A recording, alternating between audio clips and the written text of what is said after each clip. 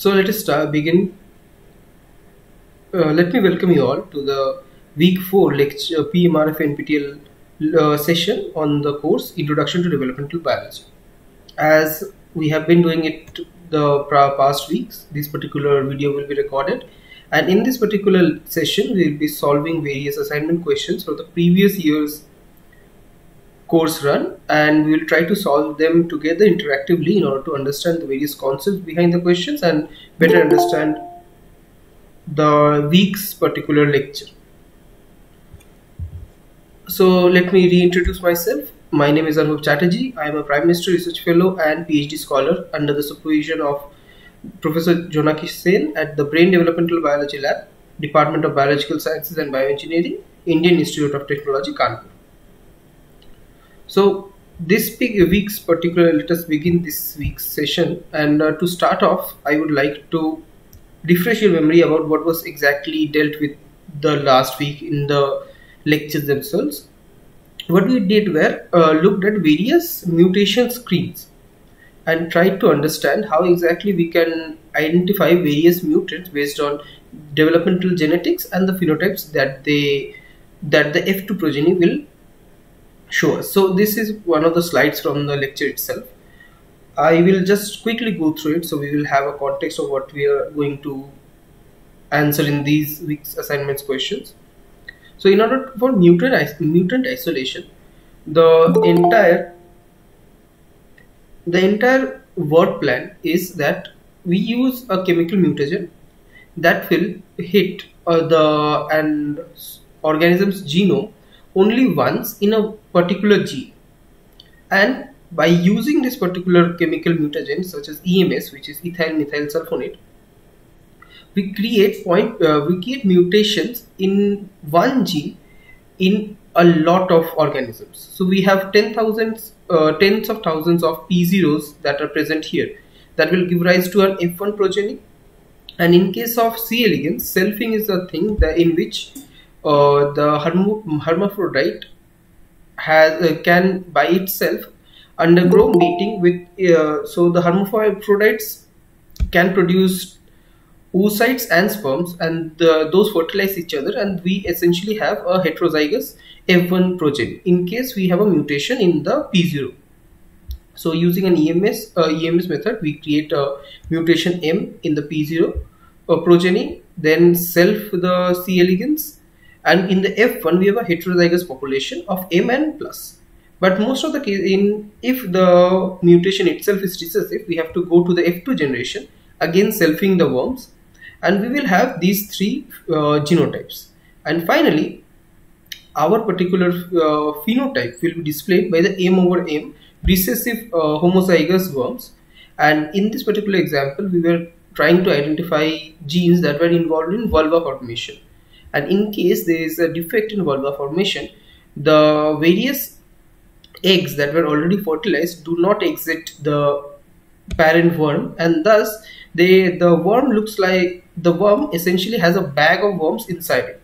And that is the distinct phenotype that is observed in this mutational screen. And this is how we do this mutant screen. This can be done separately in various organisms such as yeast drosophila and we can look for uh, various phenotypes and identify genes which are related to them. For example, in case we require to identify genes that are affected by temperature sensitivity in say yeast. So what we do is we do the entire experiment and we increase the temperature. We uh, essentially pool the yeast in two parts and have a permissive temperature of around 23 degrees Celsius for one pool and a non-permissive temperature of higher temperature where the temperature sensitive cell regulation genes will not be working. In that particular, in the second pool, many of the yeast colonies will not grow and comparing with the first one, we can identify various mutants and then trace back from those mutants what genes were involved. So is the whole idea of mutational screens clear how we go along with it? Yes no anyone if you have any questions you can just go ahead and answer because this is essentially what the entire week's lecture is on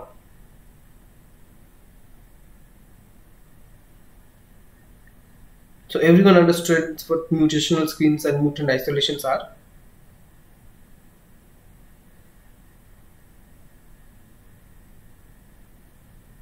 A simple yes or no will also work. Just go in the chat box and write you did not understand or you did.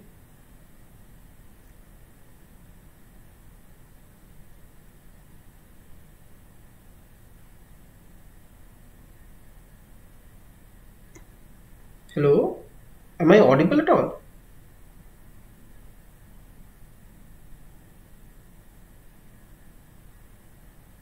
Hello?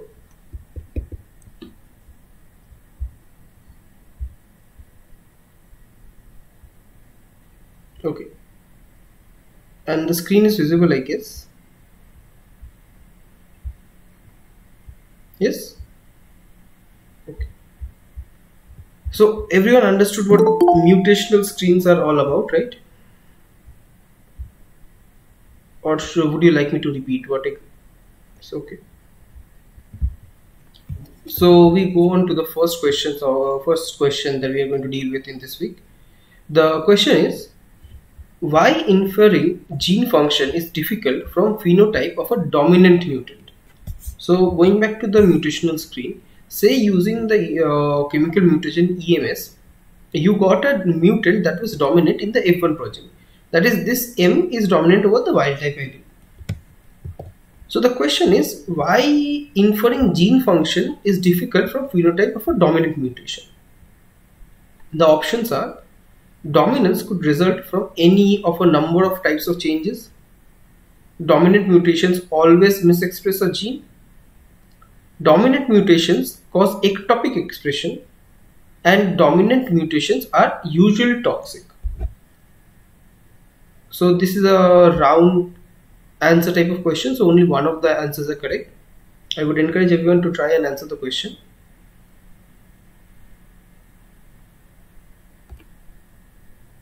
You can just go ahead and put it in the chat box.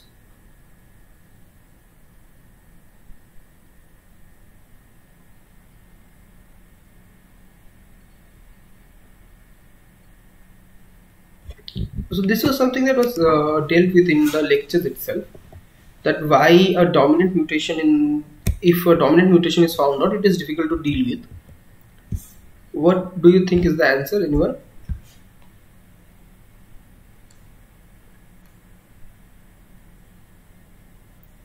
C. Dominant mutation cause ectopic expression.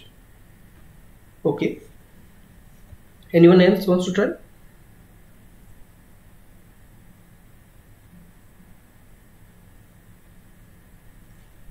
So Mriani says C. Dominant mutations cause ectopic expression.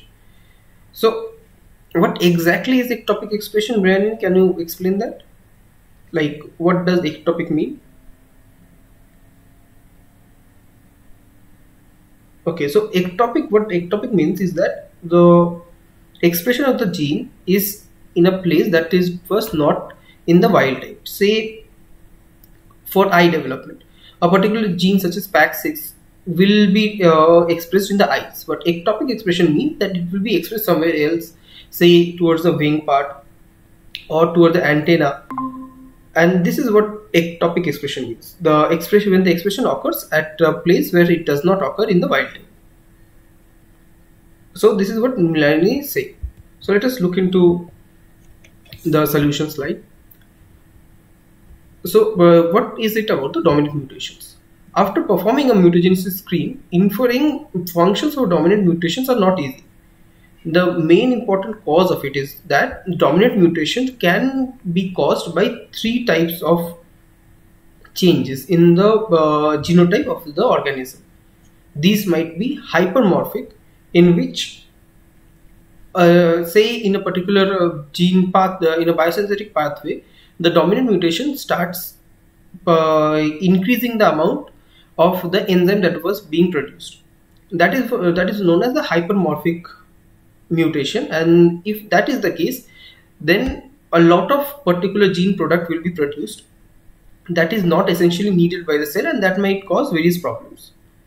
Dominant mutations can also cause neomorphic changes in which uh, the dominant mutation causes a separate entirely new function to be caused. And it can be antimorphic in nature as well, in which the normal gene function is completely reversed. So because dominant mutation can cause all of this, you cannot go back and trace what the wild type function of the dominant mutation was. Because all of this can occur from the dominant mutation as well. Thus, usually isolation of recessive loss of function alleles also will be required in order to understand what exactly the original function of the gene was. So a dominant allele will not help us much because of these reasons that a dominant allele can result in a number of changes in the phenotype of the organism and we cannot trace back what exactly what was the wild type function of the particular gene and thus a recessive loss of function is often needed. Thus the answer to the question is dominance could result from any of a number of types of changes and thus we cannot trace back to exactly what the function of the wild type gene is.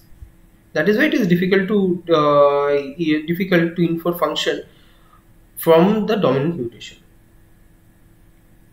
Is that okay?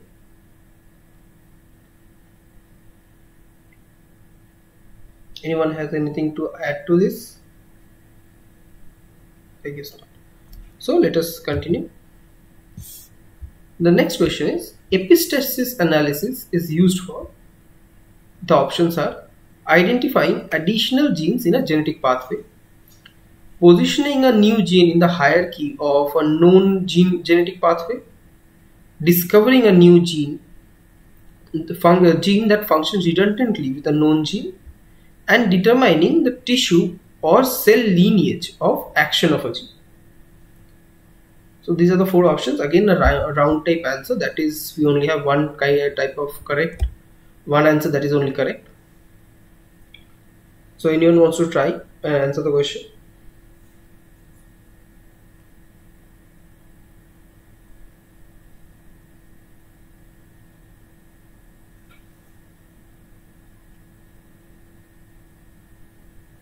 Okay. So in order to answer this question, let us first look into what exactly epistasis is. So epistasis, uh, epistatic analysis is the genetic method used to identify groups of genes controlling a particular cellular pathway or process and to establish an order of function map that reflects the sequence of events in a pathway controlled by various genes. So essentially the epistasis analysis can give us the order or the hierarchy in which particular genetic biosynthetic pathway is working. Say in the glycolysis pathway, we have various genes that are working 1, 2, 3, 4, 5 uh, and the order of the working of the genes are what uh, are determined using the epistasis analysis.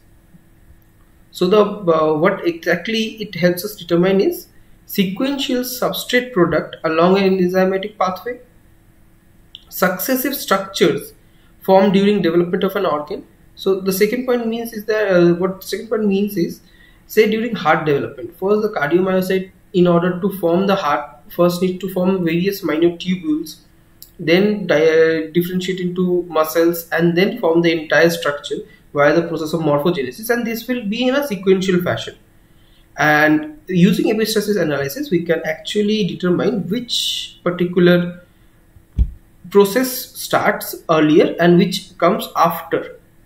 So essentially the hierarchy or, or the entire order of the process. And finally regulatory pathways that can have two outcomes. Mutations in such pathways often have distinct and opposite phenotype. And this can also be determined using epistasis analysis So the answer to the question is positioning a new gene in the hierarchy of a known genetic pathway is what is done using epistasis analysis. Okay, so if anyone does not have any questions on this, we can move on. Okay. Next, which of the following is used for assigning a new allele to a specific chromosome? The options are 1 factor genetic crosses, 2 factor genetic crosses, chromosome walking and RNAi. So again a round type of question so only one option is correct. Anyone wants to answer this?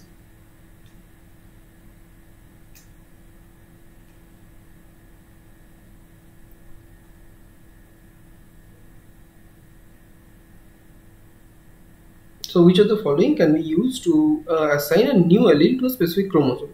Say you have uh, found a particular mutation or a particular gene and want to know which exactly chromosome it is on. So which of the following methods can be used? One factor genetic crosses, two factor genetic crosses, chromosome walking or RNAi? Anyone wants to try and answer this? You can just go ahead and try, it won't matter like you can just trying will also help you to learn.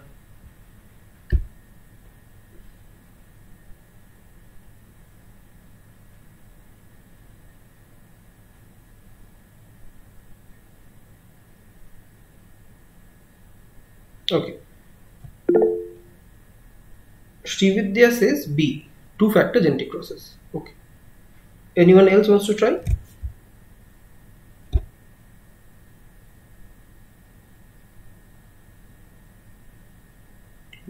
okay. So the two factor uh, analysis so the answer obviously is two factor analysis as Srividya pointed out. So what happens is that this is something that we have already dealt with. In, in the last week lectures we have uh, seen how we calculate recombination frequency. So you, during genetic mapping and trying to map a particular gene to a particular chromosome, we use a uh, method known as two-factor analysis. What we do is that we find the recombination frequency between the new gene of the new mutant and a known marker mutation. The position of the marker mutation is known. Say it is present to the chromosome 1, 2, 3, 4, 5, 6, whatever. We know which, where the marker mutation is. And we then try to calculate recombination frequency with respect to the marker mutation and if there is the recombination frequency is less than 50% then we know that if, uh, if uh, the genes are linked. If the genes are linked that means that they are present on the same chromosome. And if the there is no recombination uh, there is no recombination frequency that is calculated that means that the genes are in uh, the particular mutation is not present on that chromosome.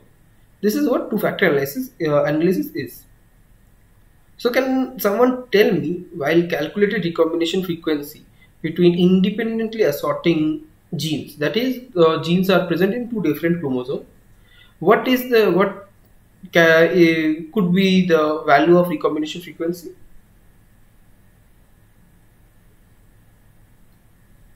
Say our marker mutation was in chromosome 1 and our mutant was actually present in chromosome 2 and we go ahead and do a two factor analysis and try to calculate the recombination frequency as uh, Morgan did using uh, by calculating the number of recombinants divided by total number of progeny into 100% and calculating in uh, centimorgan how much the distance is. So in case that they are present in two different chromosomes that they that is they are independently assorting, what will be the recombination frequency? You can just go ahead and guess it will be a percentage value. So you can just try and guess what the value will be.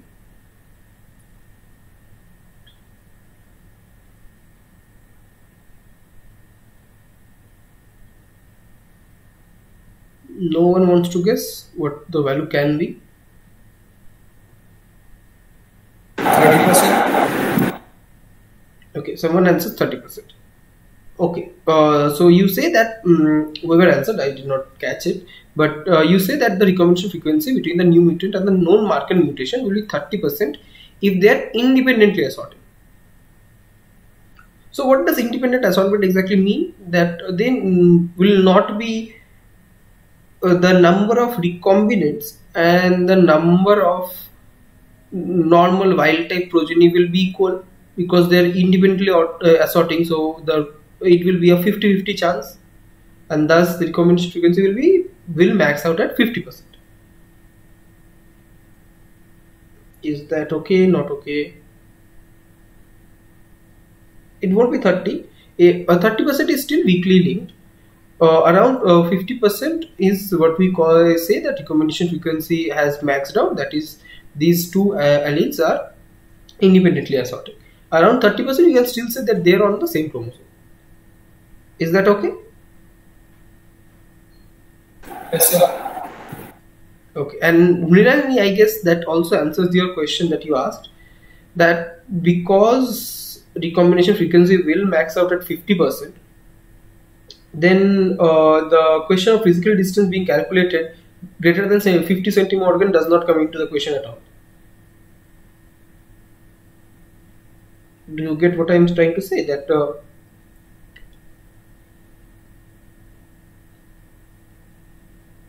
that you cannot use the centimorgan distance or the genetic mapping distance in order to absolutely say what the physical distance between the two gene locus are. Okay. Next, I wanted to also touch upon the three factor analysis that was also looked into in the lectures. So you say you have found using a particular marker, say B, you have found the uh, you have calculated the recombination frequency and found it to be 17% for a new mutation VG. So VG is the new mutation and B is our marker. But how exactly can I say that where exactly in the entire chromosome does VG lie? It can be to the uh, 17 centimorgan to the left of B, it can be 17 centimorgan to the right of B. What we do is we take another marker. Here it is uh, this is CN, this is centromere, but we can take it, and we again calculate the recombination frequency between all of them. So what we get is that between B and CN, there is a 7 9% recombination frequency and 9 centimorgan distance between B and Cn. Between Cn and Vg it is 9.5. Upon pooling all the data, you know that B and Cn must, uh, if they are 9% like 9 centimorgan apart and B and Vg are 17 centimorgan apart, but still Cn and Vg are 9.5 centimorgan apart. Therefore, this must be the genetic mapping. That is Vg lies to the right of both B and C and that is uh, using such markers. Say we had a marker here on to the right of Vg uh, using all these markers you can actually narrow down to a very finite spot where Vg might be between two particular markers and you can just then go ahead and uh, sequence that small part and you will get your G. That is what is known as three factor analysis. Is that okay? Yes no. Anything? Yes okay. So which of the following is used to assigning a new allele to a specific chromosome? The answer is two factor genetic crosses so we go ahead and look into suppressor screen. Suppressor screen is also something that was dealt in the lectures and it is very important. Which of the following points should you keep in mind while designing and performing suppressor screens? The options are the mutant phenotype should be readily visible. The number of progeny at the F2 generation should be large. The number of progeny at the F2 generation should be small. And the new mutation must follow Mendelian inheritance pattern. These are the four options and this is more than one option correct? So uh, if anyone wants to try and answer the question they can.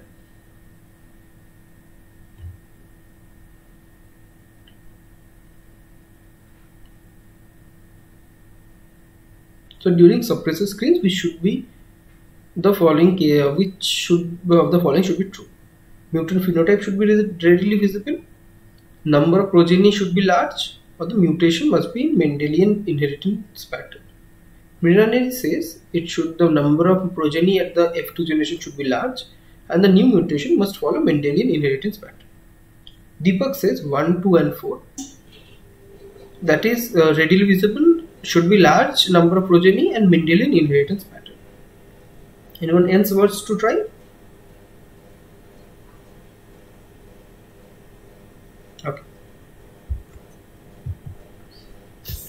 First in order to understand what exactly suppression screens are suppressor screens are let us first look into the phenomenon of suppression what suppression means is that say you have a genotype AB in the wild type. The gene both A and B are wild type and they are actually functioning. There is a specific interaction between the gene products of A and B and they are functioning normal.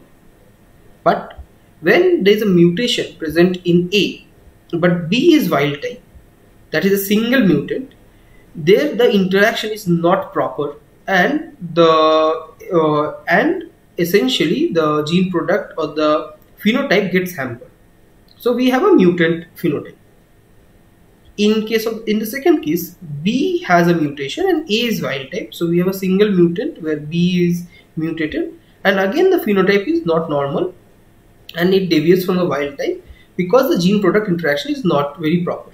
Say in uh, we can take an example of enzymes. Two enzymes must have a very proper uh, enzymatic uh, active site as we have seen already and it fits uh, simplistically as a jigsaw puzzle and the mutation essentially what it causes is it does not allow the proper interaction and the enzyme thus is either non-functional or function at the very low uh, efficiency it is the cases with the both single mutants. But in case of the double mutant what happens is that the mutation in both of them allows the gene products to again interact properly. And it acts uh, the phenotype that is observed is the same as the wild type. So the double mutant essentially has the same phenotype as the wild type and this is known as the suppressed mutant. And the whole phenomenon is known as suppression in which the double mutant essentially shows the same uh, phenotype as the wild type whereas the single mutants do not is that absolutely clear?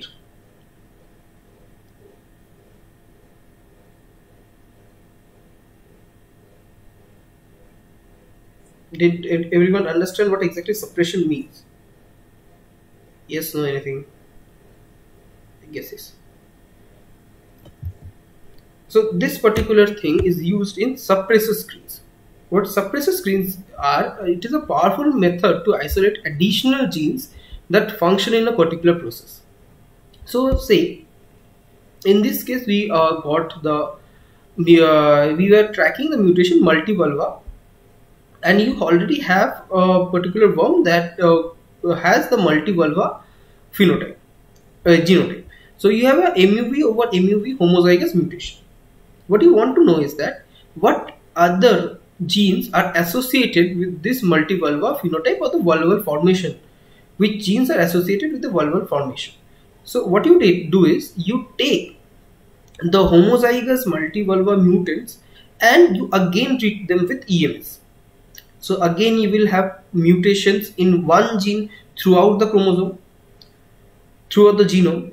A new self that is allow the hermaphrodite to mate with itself. So uh, the hermaphrodite produces its own oocytes and sperm and that uh, that's after selfing it is essentially a monohybrid uh, it looks like a dihybrid cross and in the f1 progeny we have multivulva or multivulva still here and we have the mutation that is carried forward with uh, we have a heterozygous muta mutation that is carried forward when you self it again in the f2 progeny so we have uh, we will have one phenotype which will look like this which will be multivulva over multivulva and our uh, homozygous for our second mutation now what we do is we look for mutations that will revert back to the wild type. So essentially this MUV mutation and M mutation will act in the same way the A and B were acting in the, our previous slide.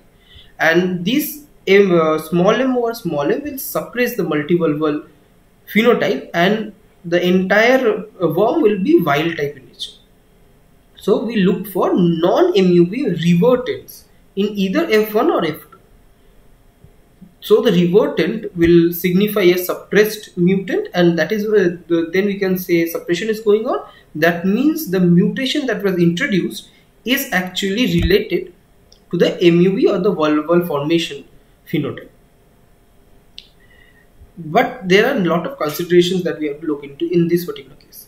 The consideration is that we have to screen a large amount of genomes the entire reason is that you have first you uh, there in the first screen, mutagenesis screen, where you found the MUV mutation, you had to mutagenize one gene at a time and look and you looked at say 10,000 progenies. That is, there was one 10,000 chance that a gene that was involved in vulval formation is hit, and from that particular gene you got MUV. In this in this suppressor screen, not only the mutation needs to be involved in vulval formation it needs to be uh, it needs to suppress MUV the uh, it needs to be able to suppress the MUV mutant that is a lot uh, like the probabilities uh, goes a lot down. Like a huge uh, like you have a very very very small chance of hitting a mutant that actually suppresses your previous MUV mutation. And that is why in order to find any worms you have to uh, look for a large amount of organisms so you have to have a large f2 population in which you will look into. Therefore the key to design the screen is that a large number of mutagenized gametes can be observed not only that you have to also understand when you are in a particular plate only you are looking at thousands of worms and you're looking at tens of tens to hundreds of such plates the particular mutation should actually just pop out to your eyes. You cannot just look for eye color or any uh, eye color say or any particular mutation that is very difficult to look into that you will have to look into through a microscope and understand and that uh, in that particular case you have the mutation should be something that pops out and should be very distinct thus the answer to the question involved is the mutant phenotype should be readily visible, the number of progeny in F2 generation should be very large, and the new mutation must follow Mendelian uh, inheritance pattern. Is that okay?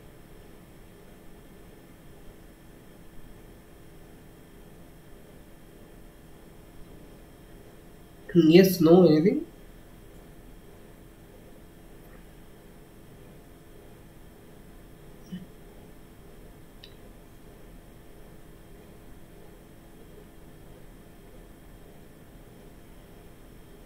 I guess that was okay. I am audible, right? Uh, okay. So we move on to the second type of screen that we discussed that were the synthetic screens. The two mutant alleles are said to be synthetic when the phenotype of one is suppressed by the other in the double mutant. One is epistatic over the other. A phenotype is displayed only in the double mutant and both alleles are of two paralogous genes. When are two mutant alleles said to be synthetic is the question. We have the four options. Anyone wants to go ahead and try?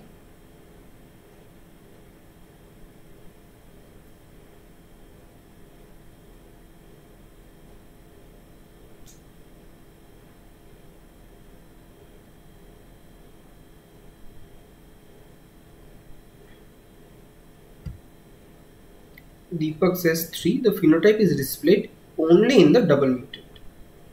Anyone else?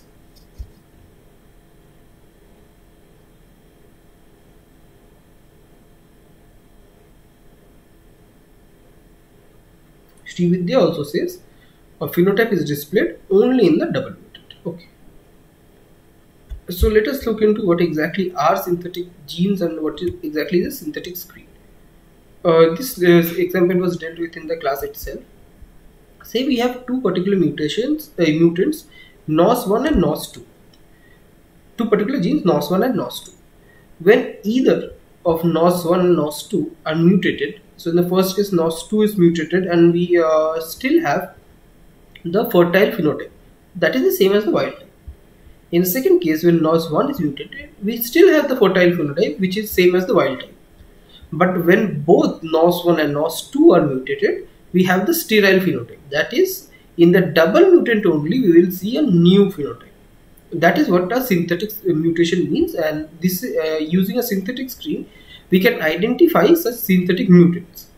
But what does uh, this do? Like suppressor mutations, synthetic mutations help us determine or identify genes that function in a single pathway that is this helps us understand that they uh, uh, essentially, uh, essentially what happened what's probably happening is NOS1 and NOS2 both were redundant in function. That is, both of them were acting or performing the same function. That is why when NOS either of NOS1 or NOS2 was inactivated, the other partner was able to perform the function entire. That is, they were redundant. But when both of them were knocked out or uh, inactivated, then only you saw phenotype. That means that the uh, entire biosynthetic pathway that they were controlling is completely stopped. And using synthetic mutations, we can identify such genes that function in a single pathway. Thus, the two mutant alleles are said to be synthetic when a phenotype is displayed only in the double mutant. Is that okay? Check here.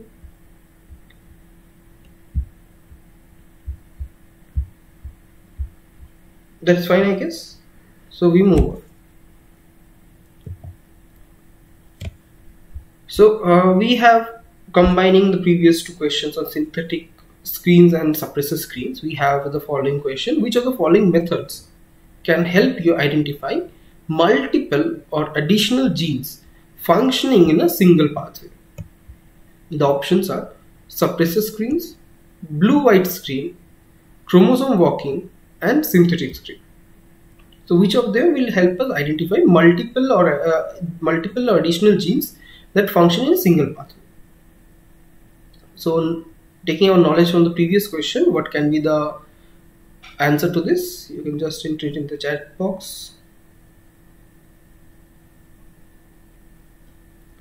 One and two, suppressor screen and blue white screen. Anyone else? Deepak says one and two.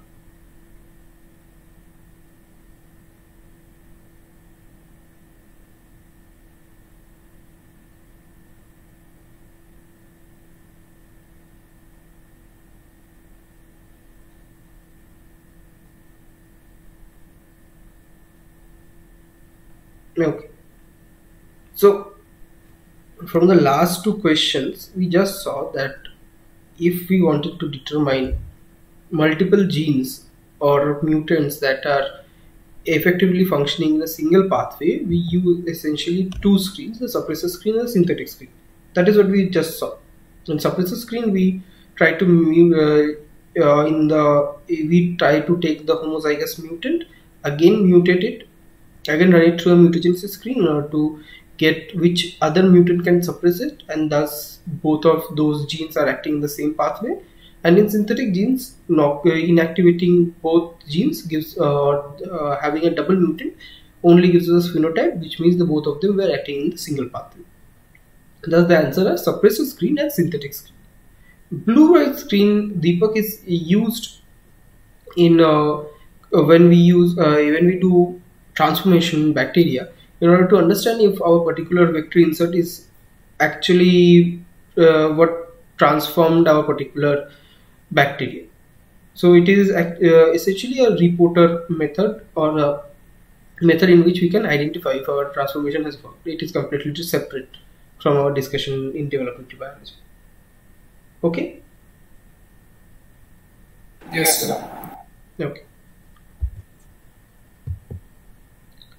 Which of the following statements are false? AC induces or anchor cell induces vulval development. PNPs are pluripotent. Tertiary fate is the ground or the uninduced fate. Hypermorph, neomorph, or antimorph are types of recessive mutants, mutations. So this particular question comes from C. elegans vulval development example that was taught in the lectures last week. And we have, uh, this is a multiple choice answer type of question. So I would request everyone to try and answer this.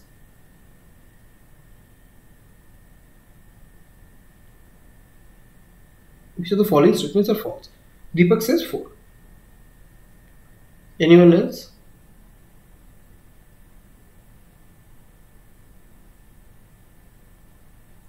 Melanie says 2 and 4. PNP is a pluripotent and uh, number 4 hypermorph, neomorph and antimorph and types of recessive mutants. Anyone else wants to try?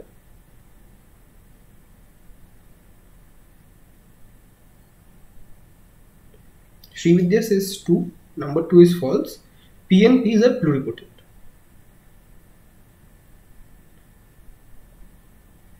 Okay, so this particular example uh, was actually taught in class and I'll just go through it quickly.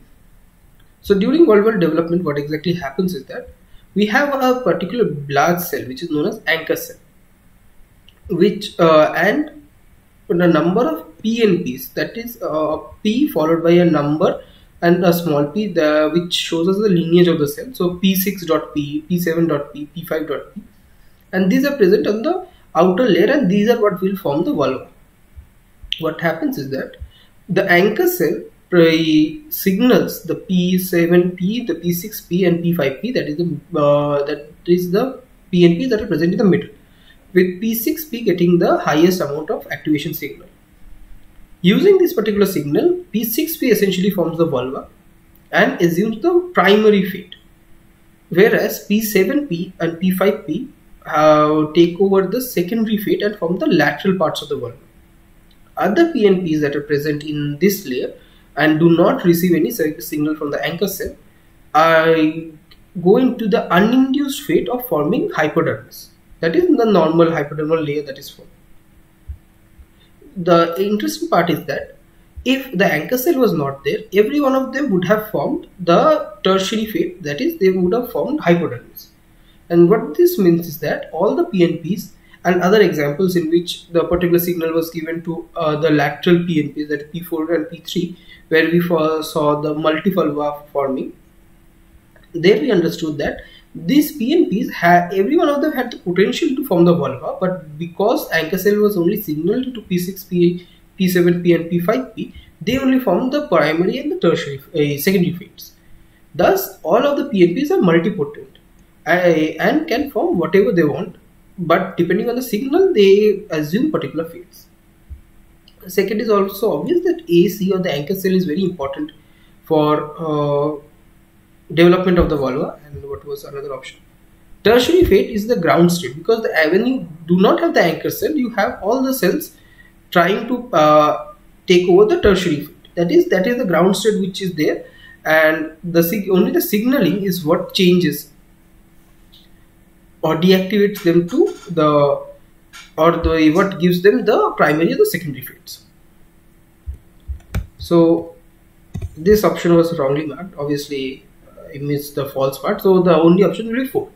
Hypermorph, neomorph, and antimorphs are the types of recessive mutation. This is false because we have uh, uh just seen that hypermorphic, neomorphic, and antimorphic mutations are actually dominant mutations.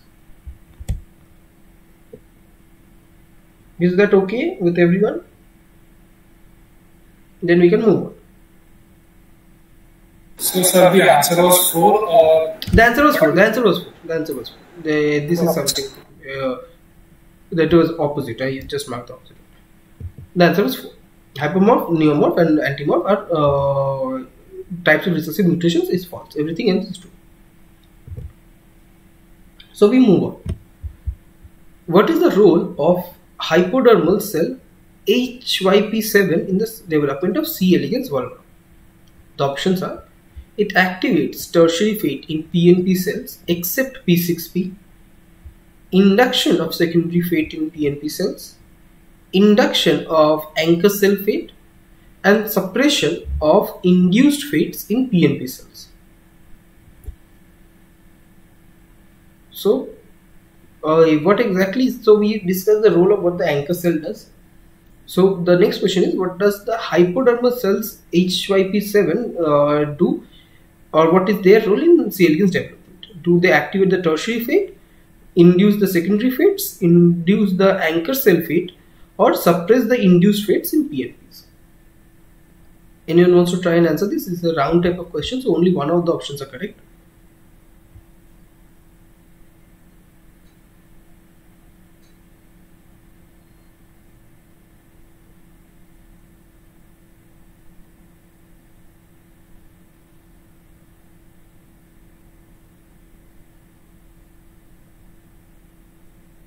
Okay.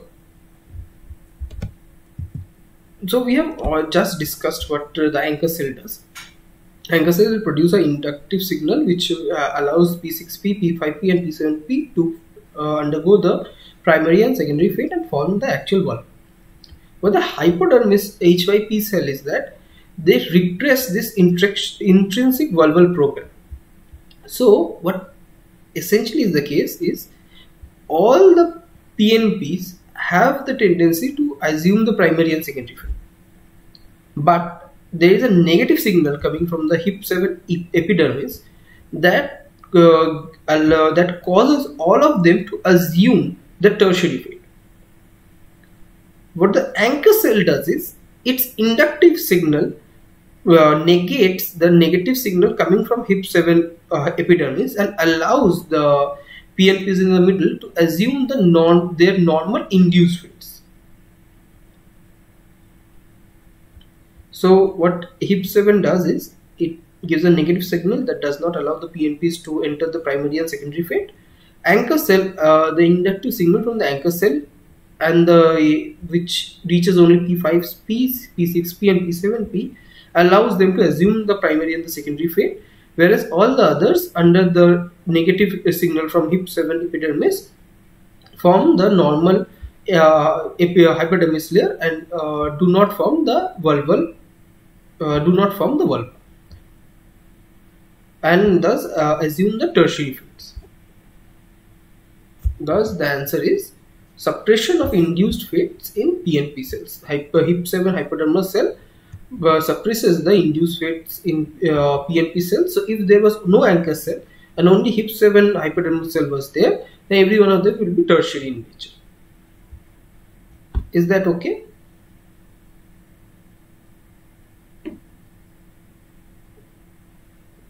I guess that is okay. So we move on to the uh, to mosaic analysis. That is a powerful tool that helps us to track various mutations. And the question is, which of the following is uh, correct with respect to mosaic analysis? The options are loss of uh, the wild type allele is directed in specific cell types. A cell marker is a cell specific marker is essential in mosaic analysis. Mosaic analysis helps us define the anatomical focus of a gene function. Mosaic analysis is used to reveal the developmental potentials of a cell. These are the four options. What exactly is correct with respect to mosaic analysis? So anyone wants to try and answer this?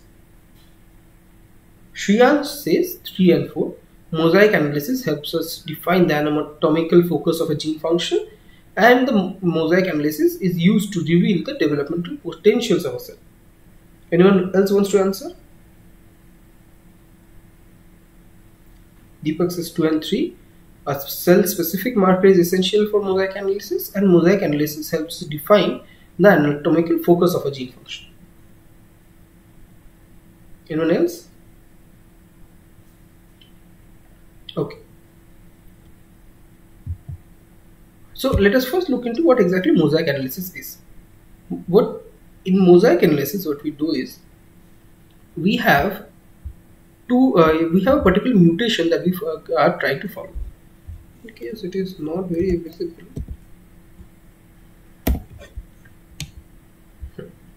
So in this case, we have a particular mutation that we want to follow.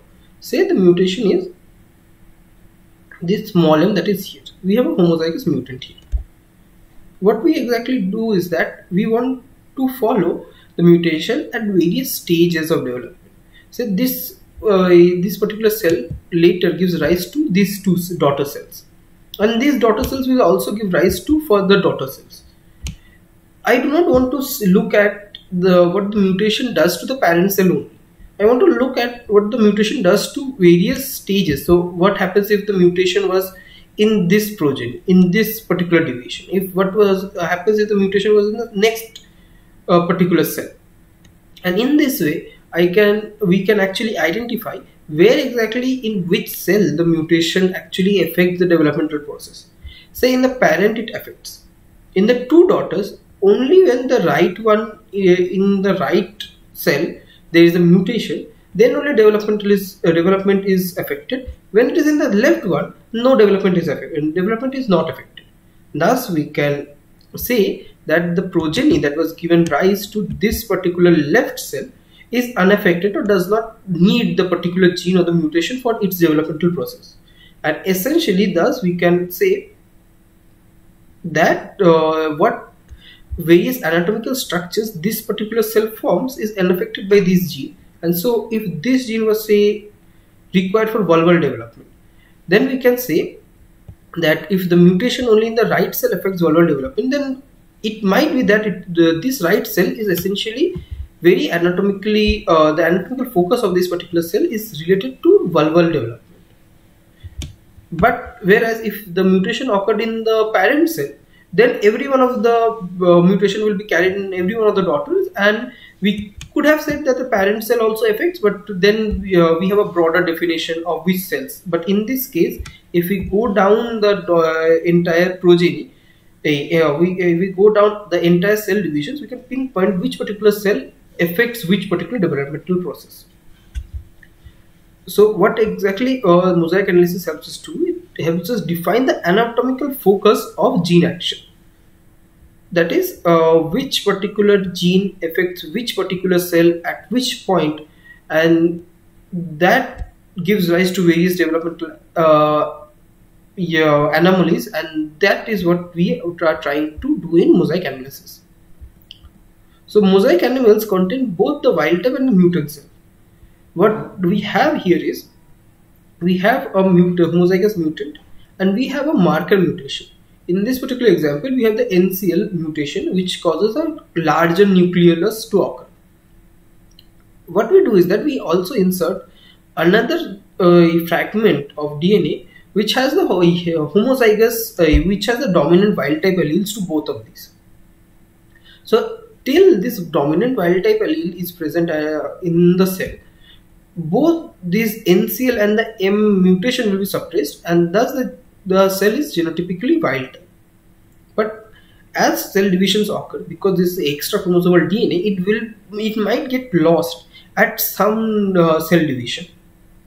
And when it is lost, we have a condition such as this, in which the only the homozygous recessive mutants are present. So both NCL and M will be expressed, and we have the phenotype of the mutant and also of the NCL locus which causes the nuclear, uh, nucleolus to be larger. Why, why do we need a larger nucleolus? It helps us to track which particular cells, in which particular cells have the uh, have the uh, dominant copies or the wild type copies been lost and thus this might must be my mutant cell. So a larger nucleolus will just tell me that this is the mutant cell. I do not have to do any other analysis. But in the other daughter, the, the particular wild type DNA fragment is being carried and that is thus it will be genotypically wild type.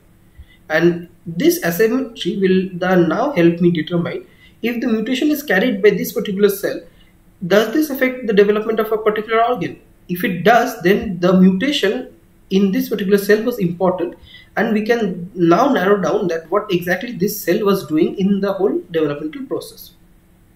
So say for example, it was uh, if we were tracking the PNPs, that is the example we will see. We can see at what stage the wild type copy is lost and then determine what exactly the PNP's functions are. So uh, going through this again, so mosaic animals contain both wild type and mutant cells and this can be generated by spontaneous loss of the free duplication. That is, this can be spontaneously lost and we can just then look at what the mutation does at various stages and the various mutations are recognized by a cell marker such as the nucleolus which uh, enlarges so this is the example of mosaic analysis that was dealt in class as well and we'll just quickly go through it so this is the lineage tree of uh, C. elegans we have the zygote which divides into AB and P1 where P1 cell lineage gives rise to the hyp7 hypodermis that we are look, uh, looking at and the anchor cell. AB then gives rise to ABA, AB anterior and AB posterior which then divides into ABPL and ABPR and these lineage gives rise to the PNPs whereas the ABA again gives rise to hyp7. So we uh, undergo mosaic analysis using this particular lineage tree. we look at the point of duplication lost, where exactly the wild type copy is lost, and what effect it causes on the vulval phenotype.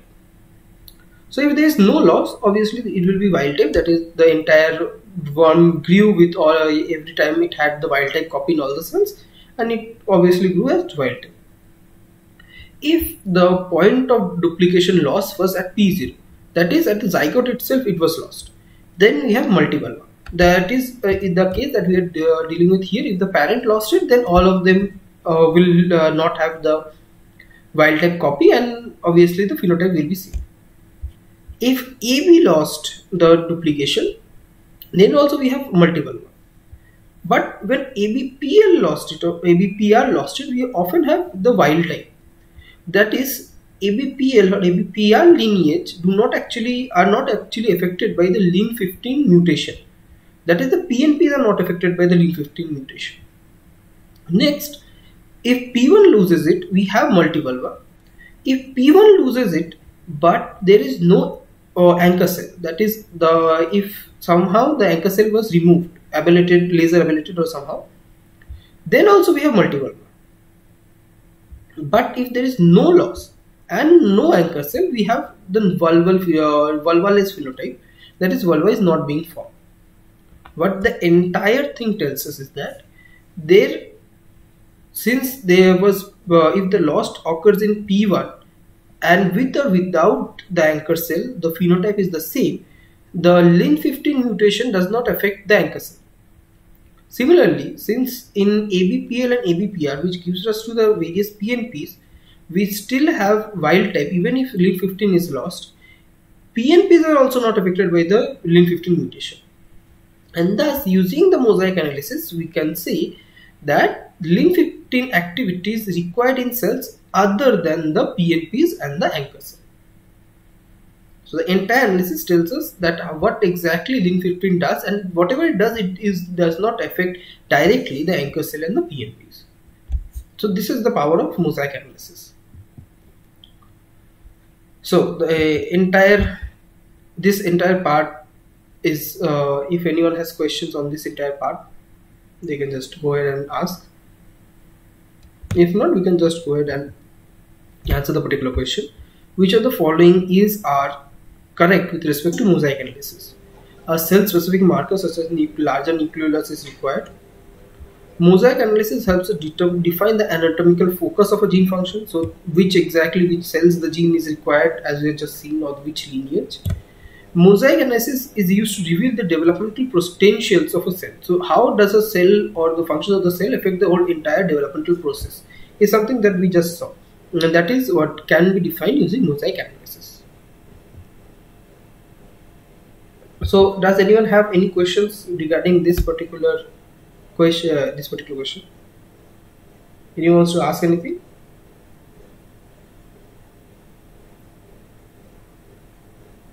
okay so we have the next question on mosaic analysis mosaic analysis is used to primarily study one the spatial patterning of cells anatomical focus of gene function anatomical focus of gene expression and gene gene interaction so this is a single choice correct answer uh, anyone wants to try and answer this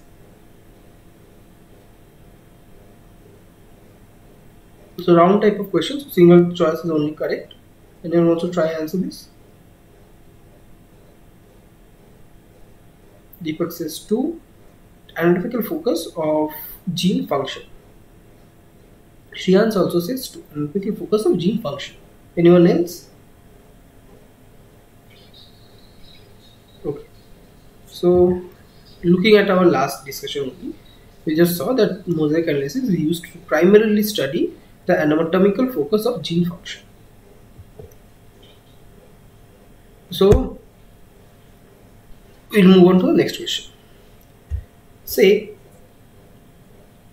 so this is a like longer question. We have two questions, but from this particular statement. So in a newly discovered dog species, loss of function in mutation in gene A results in shorter legs and loss of function in gene B leads to longer legs than wild type. in the gene A, gene B double mutant, the legs are longer, like what is seen in the gene B single mutants. So, in case of single mutant gene A, we have a shorter leg. In case of single mutant gene B, we have longer leg. In both, if both are mutated, we see longer legs like the gene B mutant. So, the question is if both gene A and gene B function in the same genetic pathway that control the length of the legs, which one functions upstream of the other based on the above data? Options are gene A acts upstream of gene B, gene B acts upstream of gene A, and insufficient data. So I would ask you to just think it through and try and answer this. So in the double mutant, the gene B's uh, phenotype is dominant, and based on that, we are being asked if we can predict that which gene acts upstream of which. Gene A acts upstream of B or gene B acts upstream of A.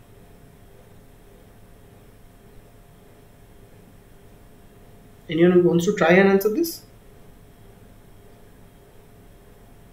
This is like 50 50. Anyone can try and be correct half the time.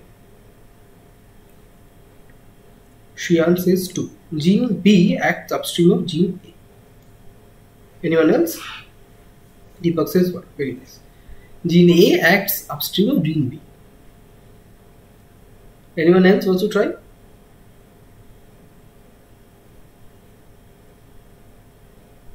Okay. So let us look into what exactly uh, is happening here. So this particular question is an example of analysis of a signaling pathway. And uh, we will go through an, another example in order to understand what exactly is happening. Say a particular mutation in gene A gives us a repressed expression or a repressed phenotype.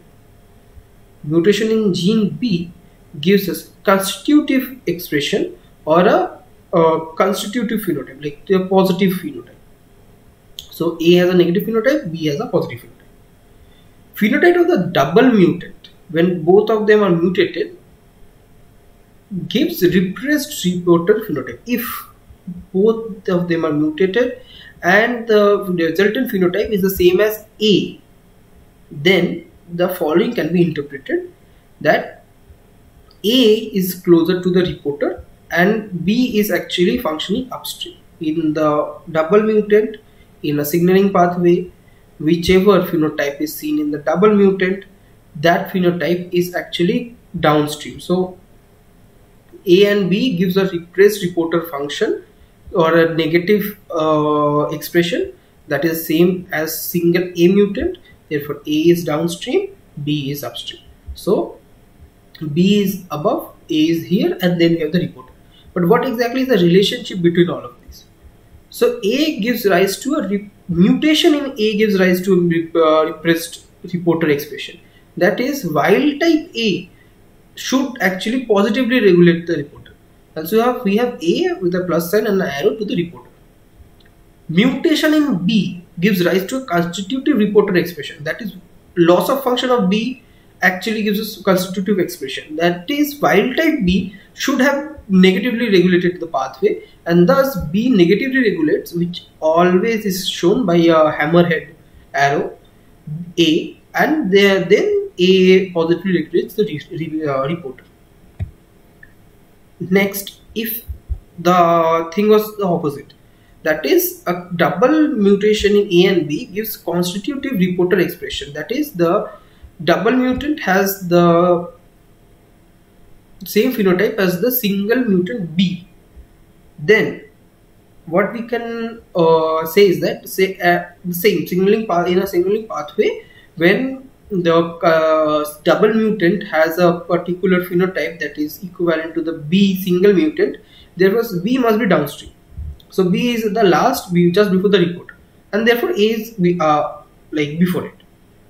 But what is the expression pattern again?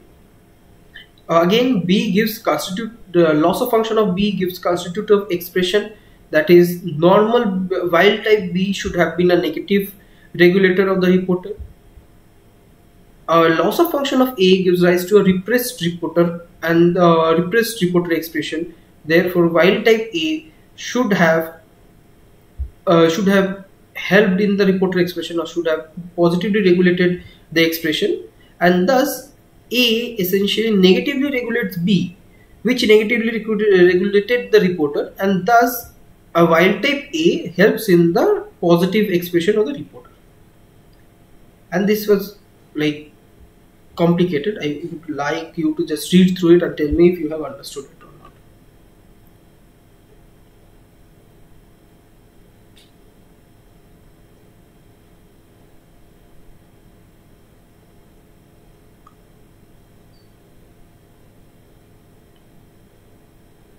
not at all understood understood yes no anything will help.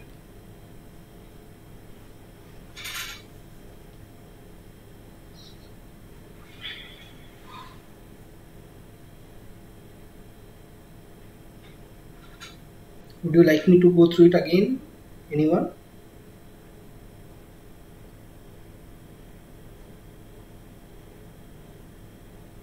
Understood nice okay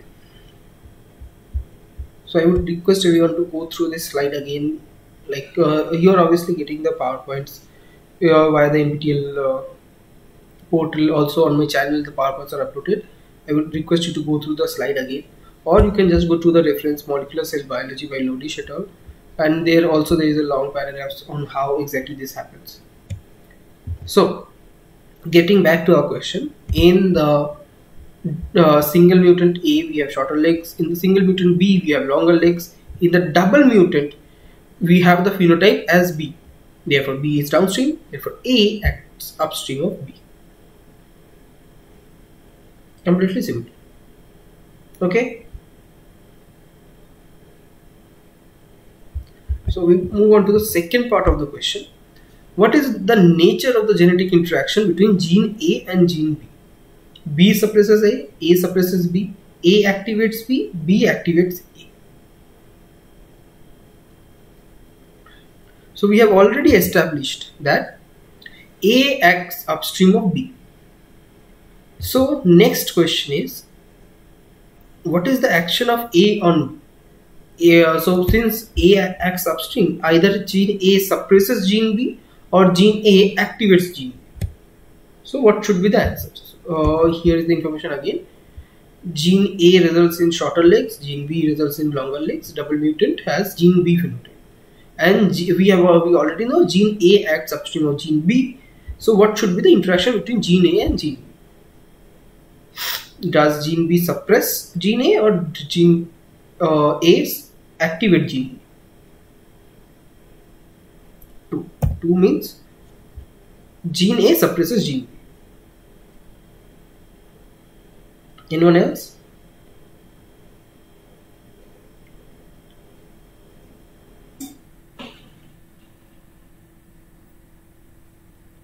Okay.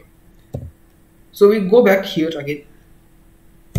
So the entire um, question is essentially this particular diagram itself and we had the same thing A actually had repressed reporter expression or shorter legs B had longer legs we know A acts upstream of B and thus A suppresses B. It's the same, the diagram is the same in which B gives uh, gives a long uh, a mutant in B gives us a longer leg so obviously wild type B should repress the reporter similarly A should repress the repress B because they act in like the mutant a allows shorter legs, whereas the mutant B allows longer legs. Thus, A should suppress B. The answer is gene A suppresses gene B. Anyone has any difficulty in this, you can just go ahead and ask. That you did not understand, I will explain again.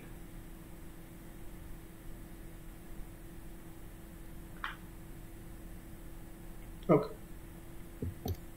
So that was all we had for today. The references to the slides are obviously Introduction to Developmental Biology, Scott Gilbert, 9th edition. This is again the YouTube link on which every one of the videos are uploaded. there are other references also in this particular slide. Uh, those include load, the molecular cell biology by Lodish et al. And that is a molecular biology book that uh, Yes, yes so what I was trying to say is that uh, the other references are from the book Molecular Cell Biology by Lodish et al. You can go through the particular diagrams that I have uh, referred to in these particular slides. You can just read about what is written about the diagrams and you can better understand what exactly was taught. I would also request everyone watching the video that please go through the week's slides uh, and the week's lectures before joining the PMRF session. It helps us a lot. And that was all I had for today. If uh, you have any questions, you can just go ahead and post it in the discussion forum or in the comment section in the YouTube videos. I thank everyone for joining the lecture.